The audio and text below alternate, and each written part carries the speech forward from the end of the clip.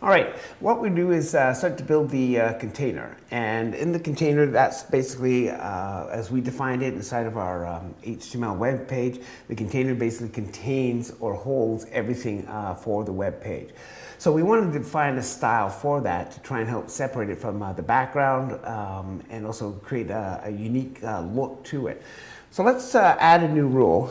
We're going back to our page. We're going to come down to the CSS panel, and again, new rule is down here.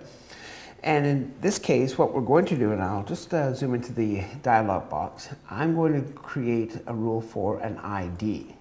And the name of the ID that we have is container. And I'm going to click the OK button.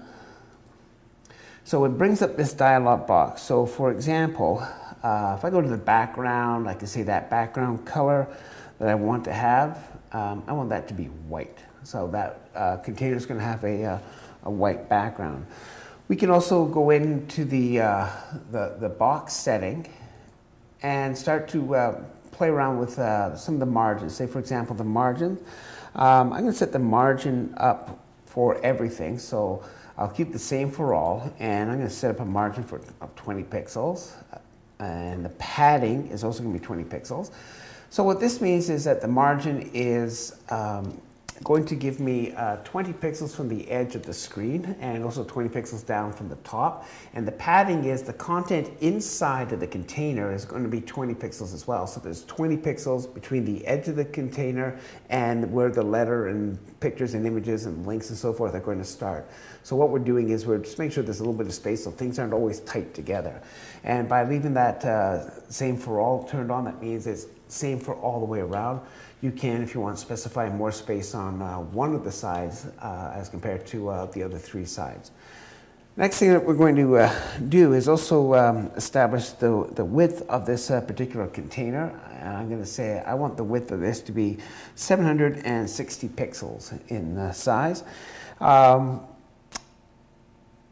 I'm going to also go to the border. We're, we're going to put a border around this. And what we can do then for the, uh, the border, we're going to have a, uh, a solid line.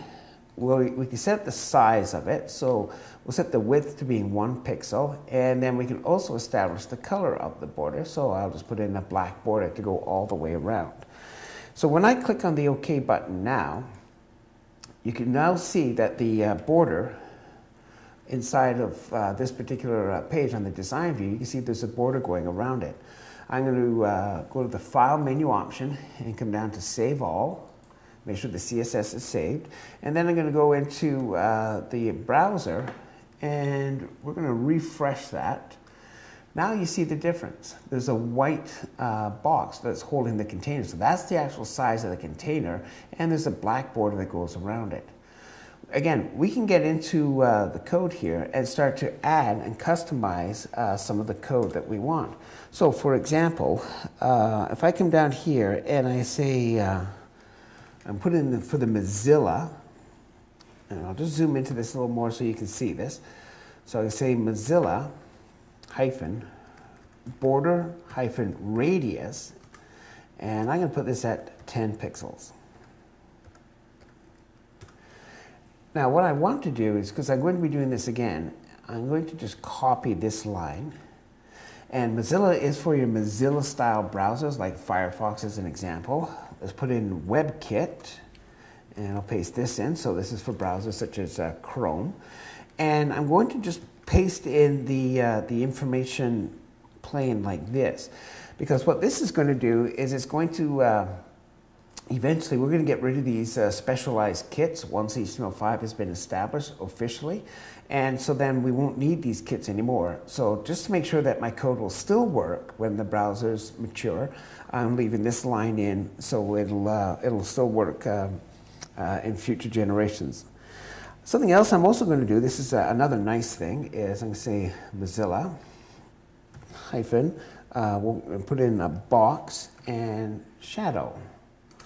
And for the shadow, I'm going to say it's uh, one pixel space, one pixel uh, space, and I set the bottom part here to five pixels, and the color of that uh, is going to be black.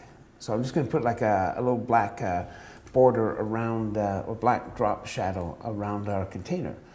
And again, what I can do is I, I'm going to highlight from box to the end here, get a copy of that. Because we also have to put this in for our web kit, and I'll paste that in and I'll press enter. And again, I'm going to paste it in a third time just to make sure that we have uh, as uh, these web kits and uh, different uh, uh, libraries as they start to uh, be removed from future browsers. It, this means it'll still work. So I'm going to save the file. Again, save all, make sure it's saved, and then I'm going to go over to the browser. Now, keep your eye on the border. You notice that we have the sharp corners and there is no shadow around it when I hit the refresh button, notice now you've got that round border and you've got a, a bit of a drop shadow all the way around it. So that takes care of the uh, container. Uh, when we come back, we're going to start focusing now on the uh, some of the ID tags. We have those div tags and some ID tags in different parts of uh, the, the body. So we're going to look at those div tags and then we're going to create a new rule for those div tags.